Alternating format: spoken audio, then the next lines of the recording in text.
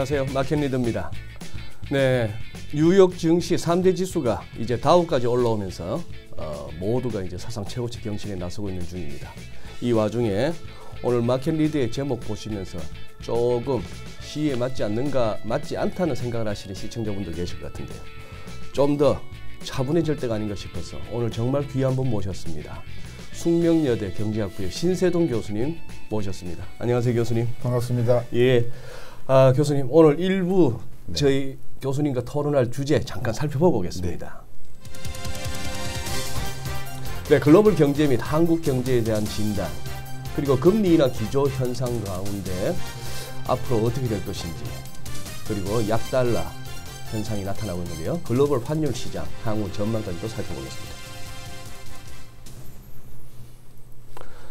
네, 교수님 이렇게 뭐 학기 중에 이렇게 시간을 내주셔서 너무 감사합니다. 영광입니다. 예, 저로서는 뭐 이렇게 진행자로서 아, 신세동 교수님을 모신다 아주 뭐 설레기도 하고 걱정도 됩니다. 네, 영광입니다. 걱정도 된다는 거는 네.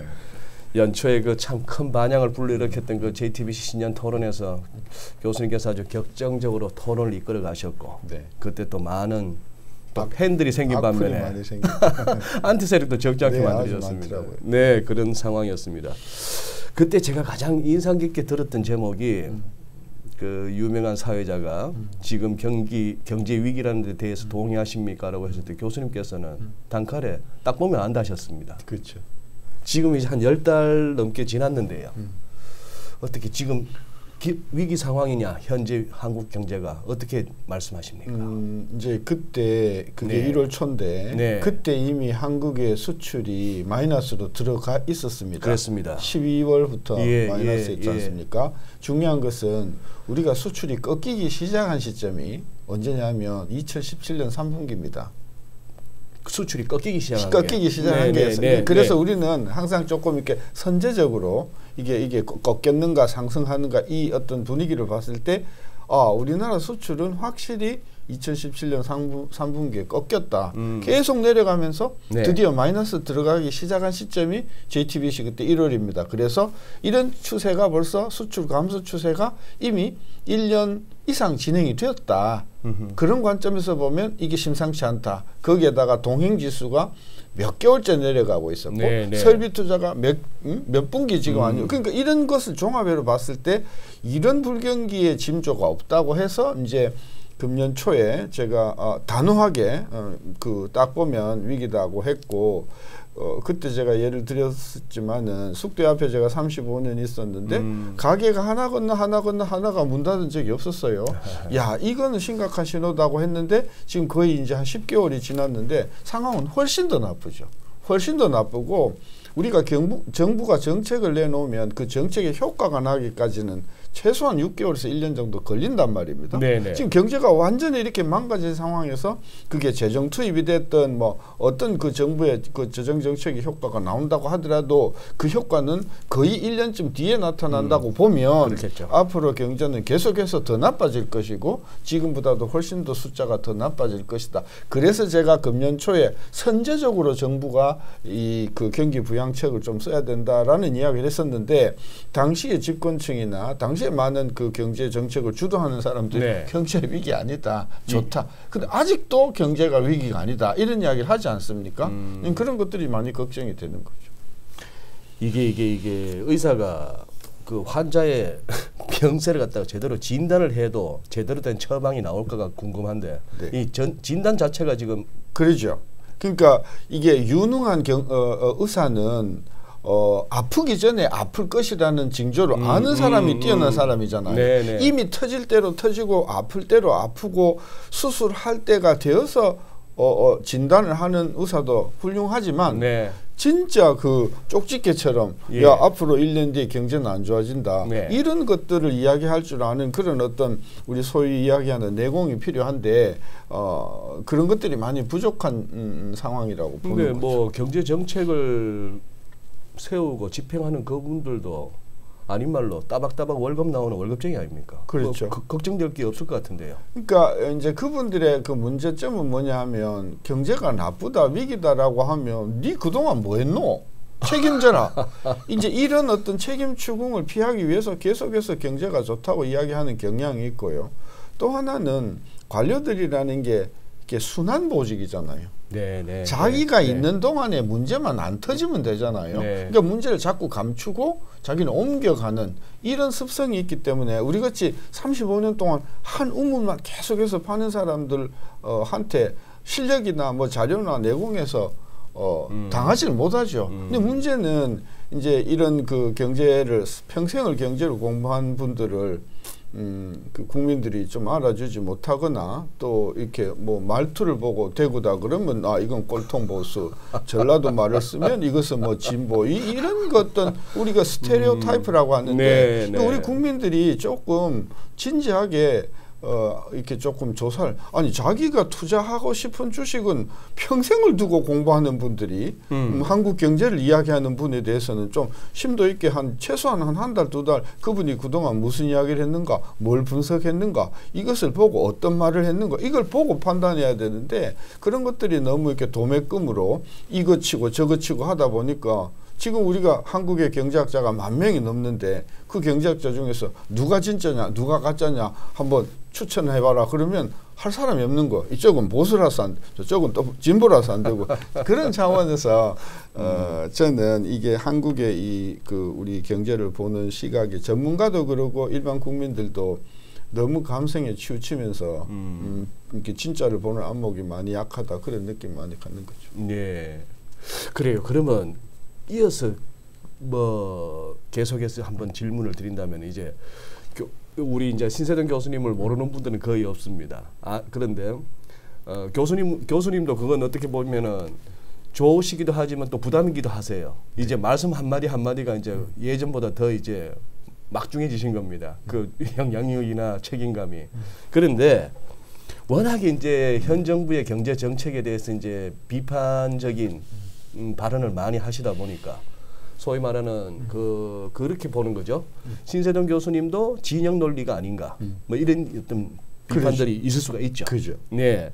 자 그래서 한번 저도 여쭤보고 싶은 게 그러면 박근혜 정부 때 전 정부 그때 경제 정책에는 비판받을 만한 대목은 없을까 하는 부분입니다. 제 얘기는 요즘 예를 들어서 현 정부에서 말하는 평화 경제 저 사실 좀 모호하거든요. 근데 사실 저는 창조 경제도 아직까지 사실 잘 뭔지 모르겠습니다. 그렇죠. 그리고 그 초이노믹스도 그렇죠. 뭘 했을지 하는 생각이 드는데 그렇죠. 교수님 시각은 어떠십니까? 그러니까 네. 그러니까 제가 아까 그 말씀이 제 이름을 치고 2013년 음, 박근혜 정부서부터 출범해서 제가 어떤 기고를 했는가 하는 것들 제가 다 모아서 음. 책으로도 냈지만 책으로도 네, 냈지만 어, 퍼펙트 스톰이 온다 예, 그- 금년에 냈지만은 그거 아니라도 제가 박근혜 정부를 비판한 것만 봐도요 최경환과 진념의 진검승부라고 해가지고 음. 제가 한번 띄운 적이 있고요 공약 가계부 이거 엉터리다 네. 그 다음에 최경환이가 그 이주열 그 하는 총재와 더불어서 어, 금리를 척하면 뭐, 뭐 한다고 하면서 이 금리를 다섯 번 내린 거면 그 다음에 특히 그박 근혜 정부가 474 이야기 하면서 어, 환율을 굉장히 많이 내렸거든요. 2014년도에. 내렸다고요. 네, 원화를 강세로 가져갔어요. 음, 음. 이 4만 불 만들라고. 아 예. 그때 아베는 80eng 하는 앵화를 120eng으로 올렸습니다. 그랬습니다. 네, 예. 그래서 내가 이렇게 하면 한국 경제가 어마어마한 수출 부진이 온다 하는 것을 음흠. 13년, 14년 내내 제가 비판했고, 그 다음에 창조 경제는 어떻게 해서 그 창조 경제가 그 박근혜 정부의 아젠다로 올라오게 된 경위를 잘 아는 사람이라서, 네. 어, 이것에 대해서도 제가 그래서 저를 모르는 사람들은 음, 어, 제가 뭐 그쪽 사람이라고 이렇게 생각하는데 저는 전혀 그러지 않고 굉장히 비판 많이 했고 그것 때문에 제가 상당히 그쪽 사람들하고 좀 더- 등도 쌓고 해서 네. 저를 조금만 이렇게 깊이 있게 보는 분들은 아 박근혜하고 라인이 훨씬 틀리다. 어, 음. 그래서 진영 논리로 저를 보는 사람들은 되게 섭섭하고 음. JTBC에도 제가 그때 유시민 작가한테 내가 대놓고 이야기했지만은 35년 정말 진지하게 공부한 그리고 당에 휩쓸리지 않고 연구한 사람에 대한 이건 모독이다. 음, 네. 저는 그런 느낌을 갖는 음. 거죠. 그런데 이렇게 학- 학계 학자들이나 음. 아니면 언론에서 어떤 그 특히 이제 뭐 경제 정책 쪽이 더 그럴 때가 있는데요. 정책 기획 집행하는 쪽에 대해서 비판을 하면은 그쪽에서의 반응은 그럼 너가 해봐라. 음. 뭐가 달라지나 음. 한번 보고 싶다 이런 어떤 반응이거든요. 그죠. 우리가 네. 논리학에서 제가 지금 논리학 공부를 하고 있는 음. 논리학에서 가장 흔한 오류 중에 하나가 네. tu quoque라는 겁니다. 투콕. 투콕? 투코크인데 이, 이게 라틴 말인데 음, 네. 네가 하면 뭐 별로 다르냐? 니도 해도 똑같다. 그게 이제 음. 라틴 말로 tu quoque예요. 네, 네. 그 말에 사실은 절반의 진실은 있어요. 뭔 얘기냐? 정권의 집행부가 당이 바뀐다고 해서 안 바뀌는 세력들이 있어요. 그렇죠. 관료들이요. 그렇죠. 그렇죠. 네. 그러니까 실제적으로 정책을 집행하고 계획하는 사람들은 대부분이 관료들이에요. 네. 이 관료 body가 안 바뀌니까 위가 아무리 바뀌어도 바뀌지 않는다. 그런 부분의 차원에서는 그 말이 맞는데 네. 따라서 예, 새로운 정부가 들어서면 그 정부는 그 틀에 박힌 늘상 그 틀에 박힌 관료들의 마인드나 작업 환경이나 이런 거를 바꿔줄 수 있는 어떤 리더십을 가지고 있는 정부가 들어와야 된다. 저는 그래서 이 정권이 지금 몇 번씩이나 바뀌었음에도 불구하고 우리 경제가 정책 차원에서 한 걸음도 제대로 나가지 못하는 이유는 문제 핵심 관료에 있다. 음. 저는 그래서 저한테 자리 자리를 줘서 제가 하라고 하면 전 무엇보다도 우리 관료들의 역량, 관료들의 캘리버를 올려서 그 동안의 정책이 왜 안 되었는가에 대한 철저한 반성을 통해서 새로운 정책의 모듈, 새로운 정책의 파라다임을 가지고 관료들이 접근을 해야 저는 새로운 정책이 나온다고 보고 그러기 위해서 꼭 필요한 그 요소는 뭐냐면 정책의 핵심 부서에 실무에 있었던 민간 전문가들을 많이 예. 한시적으로 투입을 해서 이렇게 맥이 잡히는 정책들을 해주지 못했기 때문에 어, 저는 그런 논리. 네 해봐라. 네가 하면 뭐 다르냐? 여태껏 정권이 몇 번 바뀌었는데 안 바뀌지 않냐? 그 말에 어, 어, 저는 절반은 동의를 하는 거예요. 맥이 잡히는 정책. 네.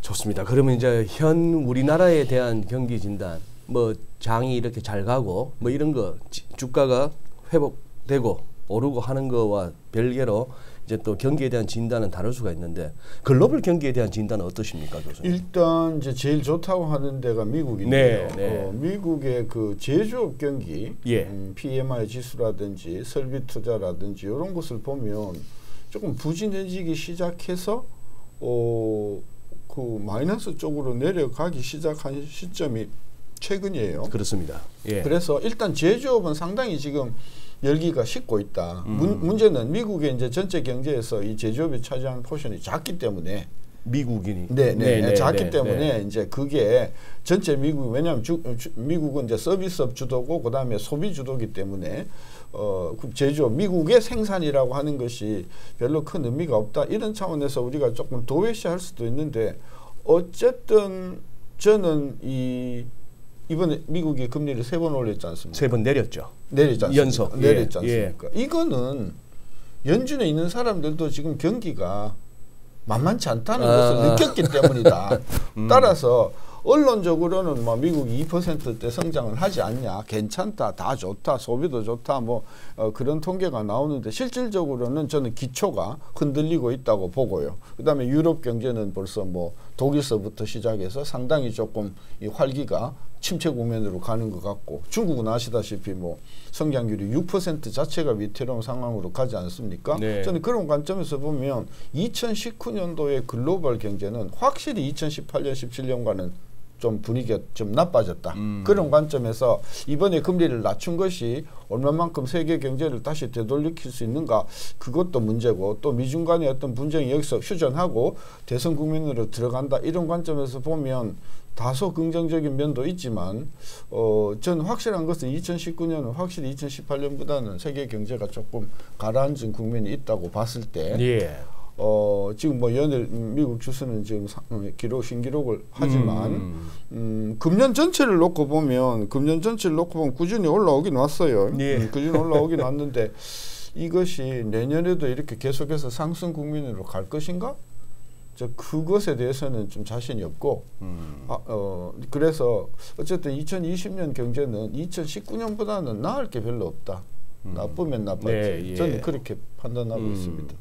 그러니까 이제 어, 교수님뿐만 아니라 사실 시장에 이렇게 또 전망을 업으로 삼는 사람들 중에 그런 어떤 비슷한 시기가 어떤 지표를 계속해서 추적해 나간다 하면은 좀 정점은 지났다 네. 아니면 정점이 가까워졌다 거의 이런 상황임에도 불구하고 시, 지금 이제 시장 증시 자체는 굉장히 뜨겁습니다. 그렇죠. 예. 미국이 그렇죠. 미국이 그렇죠. 우리나라는 우리나라는 상대적으로 아니 상대적으로가 아니라 제가 지표를 보니까 종합 주가 지수가 뭐 저는 투자를 안 하는 사람이라서 그냥 냉정한 입장에서 네. 보면 우리 코스피만 보더라도 2017년 3분기 2,500, 2,000 뭐 그랬죠. 까지 예, 갔잖아요. 맞습니다. 추세는 예. 계속해서 예. 내려와 갖고 2,000 자체가 지금 흔들리는 상황까지 갔다가 예. 지금 2,100 다시 올라왔는데 긴 한목에서 보면 한국의 증시는 특히 코스피 기준으로 봤을 때는 내려가는 국면에 있었다. 지난 예, 2년 동안. 맞습니다. 네. 저도 어제 매주 월요일 날 뭐 여기 키움에 출연을 합니다만 그런 내용에 교수님 음. 말씀하시는 그래서 한번 뭐 한 1년 한 1, 2개월 전 음. 그래서 어 작년 한 뭐 9월 9월 무렵에 음. 고점 찍고 나서부터 빠졌다가 올라오고 있는 와중에 보니까 우리는 아직 마이너스더라고요. 음. 그렇죠. 예, 우리는 아직 뭐 코스피 같은 경우 거의 10% 마이너스고 남들 뭐 그래도 한 4%대 5%대 그 부침을 겪고도 그래서 상대적으로 굉장히 부진한데 네, 지금 저- 이제 네, 그, 저 그림이죠. 그 그림이죠. 그렇습니다. 네, 파란 게 코스피고 파란 게 빨간 게 코스피고. 이제 다운데요. 네. 지금 이제 이런 걸 한번 또 여쭤보고 싶은 거죠. 저도 이제 뭐 경제학이나 재무관리 교과서에서 귀가 따갑도록 듣기로는 시장은 늘 효율적이라고 들었습니다. 음. 그렇게 배웠습니다. 네. Market is efficient efficient 나중에는 시장이 몸담고 있다 보니까 음. 이거 경제학자들이 너도 모르고 나도 모르니까 그냥 efficient 하다고 음. 퉁치는 거 아니야 싶은 생각도 드는데 이렇게 지금 불확실 요인도 많고 걱정거리도 많고 지표도 약간 꺾이는 와중에도 지금 뉴욕 증시는 사상 최고치입니다. 이런 시장을 보실 때 그러면은 교수님께서는 시- 시장은 효율적이다라는 명제에 어떤 뭐 평가를 저는 내리시겠습니까? 예, 뭐 비단 그 efficient 마켓 예. 가정 가설도 그렇지만 네. 어 전체 시장을 100이라고 놨을 때 한 10%한테는 efficient하다. 10%한테는 Efficient하다. 시장 참가자 10%. 네, 10%는 efficient. 왜냐하면 그 사람들은 자금도 가지고 있고, 그 다음에 해지할 수 있는 능력도 있고, 음흠. 정보도 있고, 음흠. 모든 것 그리고 자기가 액션으로 자기의 어떤 그런 그 어, 어, 어, 행동을 커버할 수 있는 그런 어떤 모든 것이 갖추어진 사람들한테는 efficient하다. 그러나 나머지 90%의 소위 우리가 이야기하는 개미 투자가에게는 이것은 전혀 efficient하지 않다. 왜냐하면 efficient하다고 하면 결과적으로 뭐가 따라 나와야 되냐면 시장 참여자가 1년이면 1년, 5년이면 5년 동안 봤을 때 평균 수익률이 다 똑같아야 돼. 다 똑같아야 되는데 1년, 5년을 놓고 보면 네. 항상 개미는 깨져. 예. 그리고 항상 기관은 이겨. 음. 항상 외국인이 이긴단 말입니다. 네. 그걸 봤을 때 efficient 하긴 하나 partially efficient하다. 부분적으로 efficient하다. 따라서 시장이 efficient 하니까 정부는 뭐 예를 들면은 뭐 이렇게 인터벤션을 한다든지 하는 것이 어, 비합리적이고 어, 어, 어, 불가능하다 이렇게 주장하는 것은 어, 그것은 그 efficient한 음. 어떤 그런 페어한 정보를 가지고 있지 못한 그런 분들한테는 전혀 적용이 안 된다. 저는 그래서 부분적으로 efficient하다. 예, 알겠습니다. 그러면 아까 화면에도 나왔던 네. 그리고 수치상으로 나타나는 확연한 어떤 좀 우리가 못 쫓아가는 우리 증시가 음. 사실상 뭐 어지간한 잘 모르는 세계 증시 빼고 나면 금년 들어서는 아르헨티나 다음입니다. 사실 꼴찌 꼴찌에서 주가가. 우리 상승률이요. 음, 예, 그런 상황인데 그렇다면은 뭐 결국 어떤 지- 경기의 문제일 수도 있고 정책의 문제일 수도 있겠습니다만 우리 증시의 그러면 상대적 부진 그 이유는 어디에 있다고 보십니까? 일단은 그 정부가 통계청에서도 우리나라 경기 주- 고점을 2017년 3분기로 잡았지 않습니까? 경기 고점을 예, 그 고점하고요. 지금 코스피 내려가는 고점하고가 정확하게 일치합니다. 아하. 따라서 네. 2017년도 상반기까지 그 반도체 수출 때문에 폭발적으로 성장 예. 3% 넘다가 네. 이게 꺾이면서 외국인 투자가들이 아 한국의 실무 경제는 꺾이는 추세다라고 음. 보고 계속해서 걔네들은 중장기적으로 음. 한국의 포지션을 줄여왔다 는 것이 첫 번째고요. 네. 그다음에 또 하나는 그걸 부추긴 이유 중에 하나가 뭐냐면 어, 이 정부도 그랬고 박근혜 정부도 그랬지만은 그 1인당 GDP 3만 불 내지 4만 불 내지 5만 불에 집착을 하다 보니까 이 정부는 기본적으로 환율을 워낙 고평가를 간다는 그런 것들이 굉장히 많다. 음. 예를 들면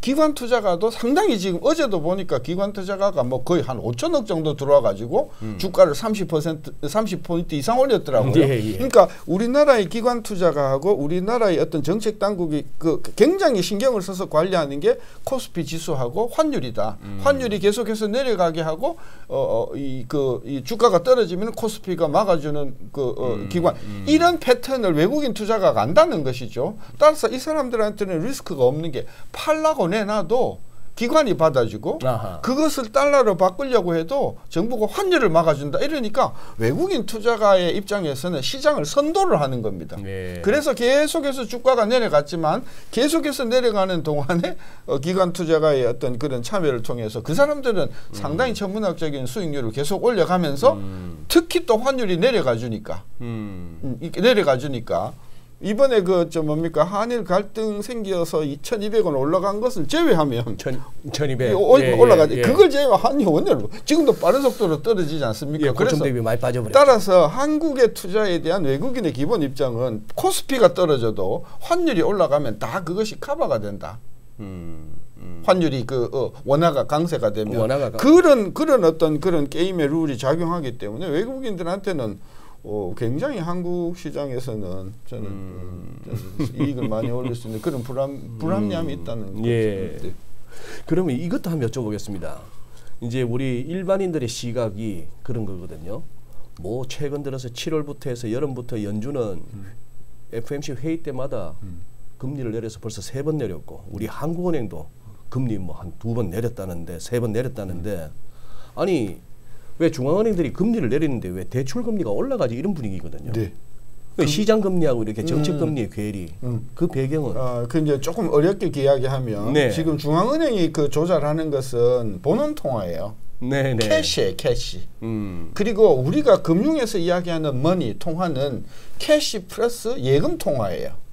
네, 예금 네, 통화. 네, 네. 근데 이 비율이 우리가 이제 통화 승수라고 하는데 지금 그 비율이 1대 우리나라 같은 경우는 16, 예금 16배 많습니다. 음. 그리고 미국 같은 경우는 통화 승수가 25, 26이거든요. 예. 그러니까 중앙은행이 현금을 많이 풀어도 네. 은행에서 신용 창출이 되지 않으면 음흠. 승수 떨어지면서 예금이 팍팍 줄어들면서 대출할 수 있는 자금이 부족해지는 현상이 생기죠. 네. 그러니까 그런 상황 때문에 지난 9월에 미국에서도 어, 금리를 내렸음에도 불구하고 단기 금리가 굉장히 올라가면서 그냥 연준이 깜짝 놀라가지고 그랬습니다. 대형 포 파이프로 우리가 repo라 그러는데 예. 풀지 않았습니까? 예. 저는 그래서 지금 나타나고 있는 현상이 뭐냐면요. 아 연준이 돈을 풀어도 cash를 풀어도 음. 시중에 자금 사정하고 이게 겉돌 수가 있겠구나 하는 인식을 하게 되었어요. 네, 네. 이게 미국에서도 나타났고 우리나라에서도 네. 나타났지 않습니까? 저는 그래서 이런 상황에서 기준금리를 계속 내려도 대출금리는 계속 해서 상승 압력을 받는 이런 상황으로 갈 가능성이 크고 음. 그 이유는 지금 자금 시장에서 신용 창조 음, 네. 이게 기능이 네. 많이 마비가 됐어요.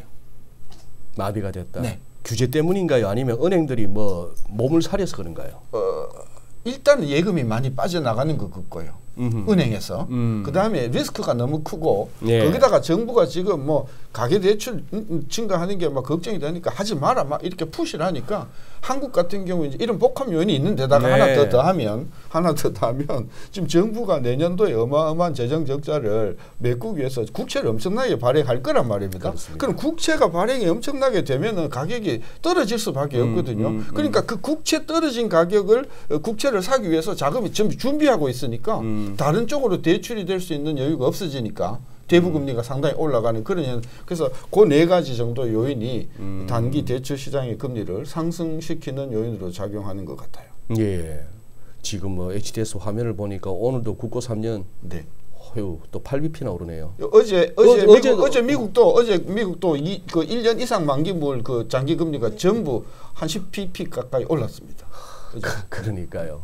그 연준이 재정 정권을 갖다가 매입해 준다고 하는데도 불구하고 미국에서도 저렇게 단기물 금리가 오르고 우리는 지금 뭐 국채 선물 시장에서 외국인 계속 매도 어제는 또 개인 투자자 가운데서도 대형 손절이 나오면서 지금 계속해서 금리가 오르는 뭐 그런 상황이 되긴 됐습니다.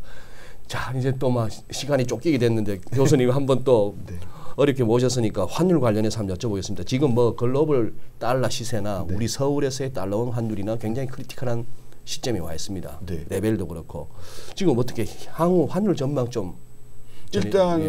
뭐 달러는 달러는 음, 이제 약세로 갈 거다 강세로 갈 거다 논란이 많은데 저는 네. 달러 인덱스로 보면 네. 크게 뭐 업이든 다운이든 그냥 횡보를 할 것 같고요. 음흠. 문제는 한국 원화인데 네. 이 정부의 그동안에 해온 어떤 행보를 보면 예. 원화 환율을 즐기는 것 같다. 원화 환율의 강세를 내려가는 것을 반기는 것 같다. 환율 하락, 네. 원화 강세를 네, 반기는 네, 것 네, 같다. 네. 그런 음. 관점에서 보면 저는 환율이 천 지금 150원대인데 어 50원, 60원대인데 이게 조금 더 내려갈 가능성이 있는데 내년 되면 스토리가 조금 달라질 거다. 왜?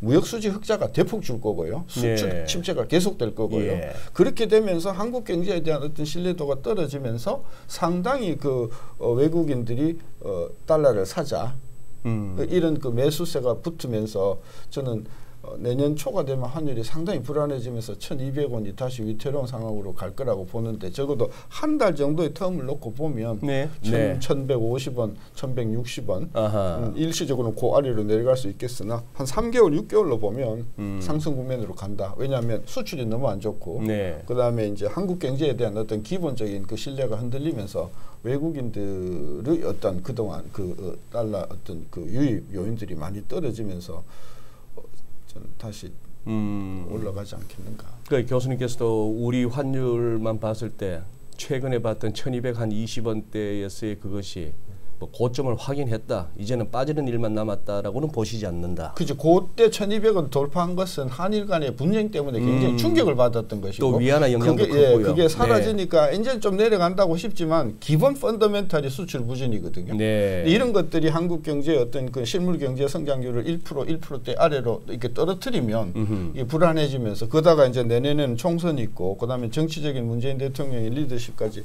이런 것들을 감안하면 어 원화가 일시적으로 아주 국지적으로 강세가 될 요인은 있어도 네. 한 3개월, 6개월 텀으로 보면 네. 음. 원화는 원화는 약세로 간다. 1,200원이 다시 위태로워질 수도 있다. 근데 키는 수출 그리고 어, 무역수지 흑자라고 봅니다. 예. 교수님 마지막에는 뭐 시장 관련 경제 관련 질문이 아니고 네.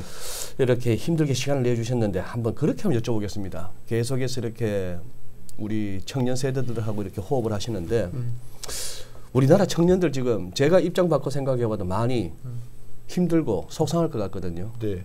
한번 위로나 격려의 메시지 한번 부탁드립니다. 어 제가 대학을 졸업할 그때도 그랬어요.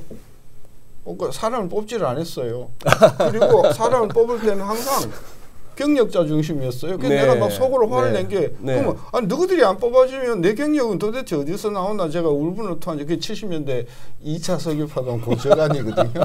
저는 우리 젊은이한테 아. 네. 마- 말씀드리고 싶은 게 경제라는 건 사이클이 있다. 좋아지면 나빠지고 나빠지면 좋아진다. 지금 나쁜 상황이니까 언제든지 좋아질 가능성이 있으니까 네. 실망하지 말고 그 경제가 어렵고 직장이 없고 생활이 어려울 동안 자기의 내공을 살리기 위해서 내가 내, 내 실력을 올리기 위해서 내가 무슨 공부를 해야 되는가 이런 관점으로 자기의 실력을 어, 높이는데 좀 신경을 써줬으면 좋겠고 난 무엇보다도 글로벌 시대에 제2외국어는 필수 아닙니까? 네. 그래서 이렇게 어려운 시점에 영어라든지 불어라든지 중국어라든지 제2외국어 하나 확실하게 일본어라든지 음. 유창하게 이야기할 수 있는 그런 어떤 어, 어, 어, 그 능력을 6개월 한 1년 동안 가다듬으면 그거 하나만으로도 충분히 자기 자신을 세울 수 있는 그런 그 어, 능력이 된다고 봐서 이렇게 뭐 어, 낙담하고 뭐 자꾸 맥주 잔으로 기울일 것이 아니라 내가 이 기간 동안에 나의 실력을 어, 쌓을 수 있는 그런 분야가 뭔가 이런 부분에